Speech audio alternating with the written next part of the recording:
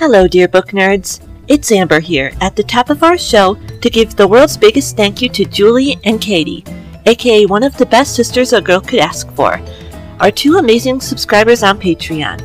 I sincerely can't keep this show going without the support of listeners like you, as this show takes a great deal of time and effort for me to put together every week. So if you enjoy what I do and would have the financial means to do so, I truly hope you'll consider heading on over to our Patreon page at patreon.com slash bndpod and becoming a patron for as low as $2 a month to start getting perks like ad-free episodes a day before anyone else, bonus shows like the Book Nerd Hall of Fame and Storytime, and behind-the-scenes content, not to mention getting your very own shout-out at the top of each episode. Again, that's patreon.com slash bndpod. We hope to see you there! Page 7 September 18th, 2020 Hello everyone, and welcome to the Book Nerd Diaries, the bite-sized, bi-weekly audio journeys of a bookworm through an endless to-read list.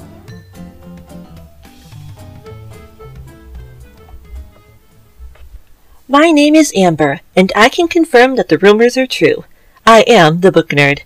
Another thing that I can confirm is that you all, dear listeners, are wonderful. I am incredibly grateful, first of all, to everyone who has taken the time to simply press play on our show. We are, as of this moment, incredibly close to reaching a milestone 200 plays so far across all platforms, a feat we couldn't possibly have reached without your amazing support. Audience sizes and the number of plays we get are how potential sponsors find shows like this one, so please keep up the incredible work, guys. Secondly, I would like to thank all of the wonderful souls who have taken the time to leave us a five star rating or positive review on iTunes which is the best way to help little shows like ours reach new ears and make our way onto the podcast charts. This week, I would like to give a special shout out to iTunes user Momo Labs, who left me this as my very first review. Super amazing podcast with the best host. Highly, highly recommended. Thank you so much for the kind words. For those of you like me who are using Android devices and do not have access to Apple Podcasts, don't despair.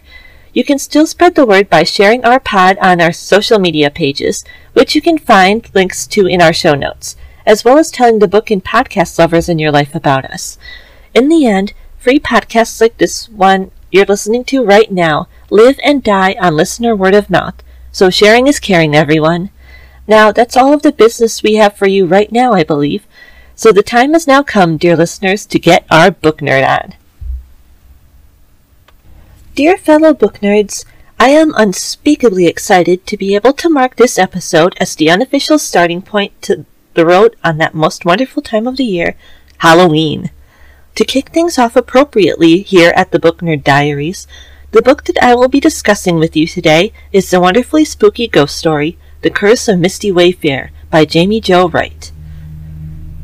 This tale follows two women, Thea Reed and Heidi Lane, who are both drawn to the sleepy rural town of Pleasant Valley, Wisconsin, to solve the mysteries of their pasts. Though these women are separated in time by a century, they both uncover secrets that they would not have imagined and come face to face with a local legend, the vengeful ghost of a woman named Misty Wayfair. The story of how this particular book found its way to me is actually a pretty unique and wonderful one. To go a little behind the scenes for you, my brother-in-law, Sean, actually knows author Jaime Jo Wright personally, and he and my incredible sister Katie, who is actually a patron of our show, were kind enough to actually stop by and hand deliver this and a couple of her other books at my house for me to read.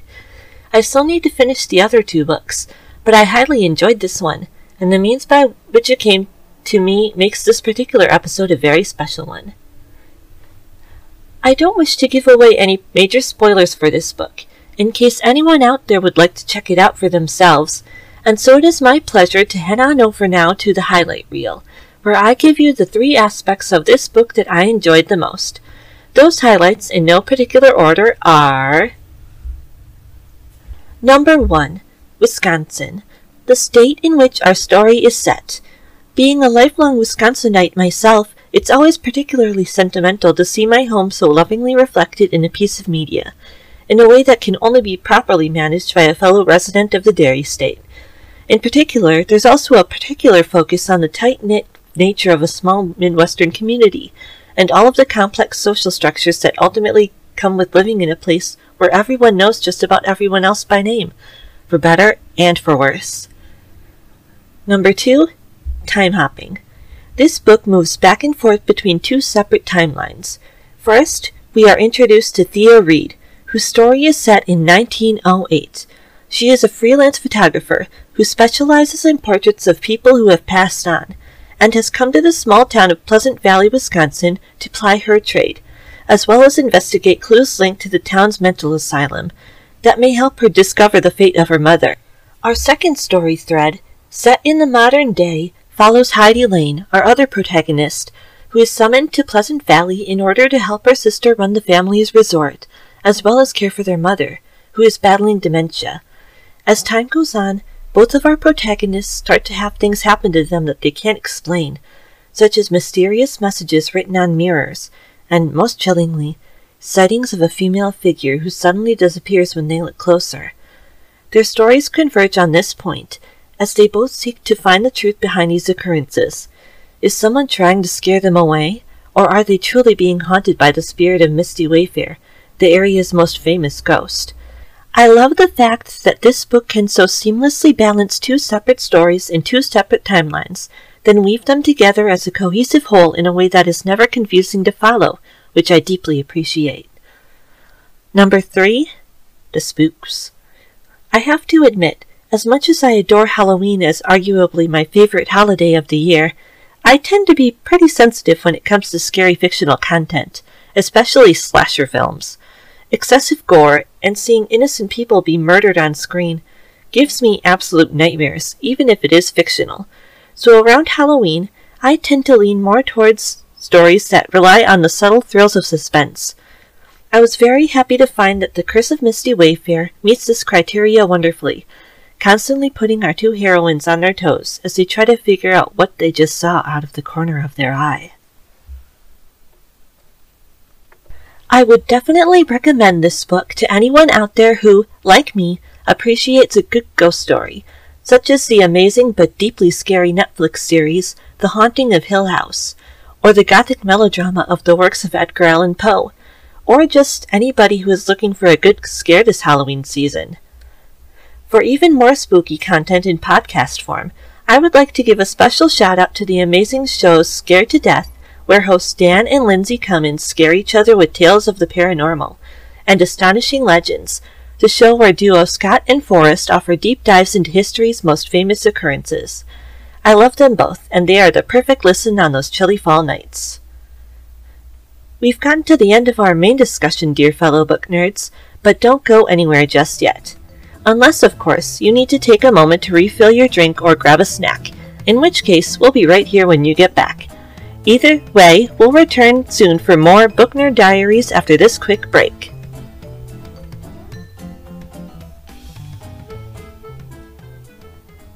Are you looking to create your first podcast like I have, but don't know where to start? Then I would like to introduce you to an amazing tool called Anchor. If you haven't heard about Anchor, it's the easiest way to make a podcast. Let me explain.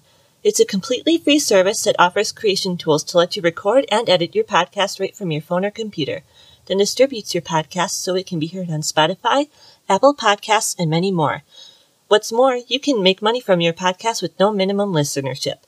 It's everything you need to make a podcast in one place, so what are you waiting for? Download the free Anchor app or go to anchor.fm to get started. And we have returned, everyone. Thank you so much for sticking with us. Let's get on with our show, shall we? It is now time, dear listeners, for that ultra nerdy part of our show, the Trivia Corner, where I give you a special trivia question related to today's book. Since we delved into the realm of the spooky with The Curse of Misty Wayfair today, we're going to keep that going with a question about not scary books, but scary movies. Your question for today is what is the highest grossing horror movie of all time? Is it A. Silence of the Lambs, B. Jaws, or C. It?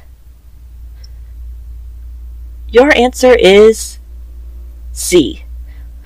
According to articles by Forbes and Mental Floss, the 2017 film adaptation of the iconic horror classic Stephen King's It slayed its way to the title of current highest grossing horror movie of all time based on U.S. domestic box office gross, raking in over $327 million. That, my friends, is no joke. I will note, though, that Forbes also gave another list where income is adjusted to reflect 2019 movie theater ticket prices, in which Jaws comes out on top at 1.154 billion in earnings. Whichever list you subscribe to, it's clear that people sure do love a good scare. We've just about reached the end of our episode today, dear listeners, but before I go, I would like to leave you all with your listener poll for this week. As fall is just around the corner, I would like to ask you all, what is your favorite warm drink when the weather gets cold? I'd love to hear your thoughts, so please head on over to our Facebook or Twitter pages, which will be linked in the show notes, to weigh in, and we'll read out the results in our next episode. With that, another entry in the Book Nerd Diaries is now finished. Until next time, everyone, take care and keep on reading. The Book Nerd Diaries and its associated shows are written, edited, researched, and hosted by me, Amber Wilchin. Thank you to Kevin MacLeod for the use of our theme song, The Show Must Be Go, and Sincerely Media on Unsplash via Anchor for our wonderful cover art. But most of all, I'm truly grateful to you all out there for listening. If you have the financial means and would like to send some money our way to help keep the proverbial lights on, we hope you'll become a subscriber to our Patreon page at patreon.com slash bndpod, or you can donate a few dollars to our Ko-fi page at ko-fi.com slash bndpod, and we'll be happy to give you or someone you love a shout out on our next episode.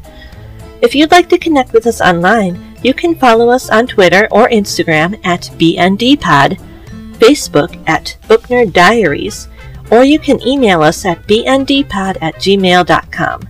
Any comments, questions, or book recommendations you may have to send my way are always welcome. Until next time, everyone, please take care of each other and don't forget to support your local library.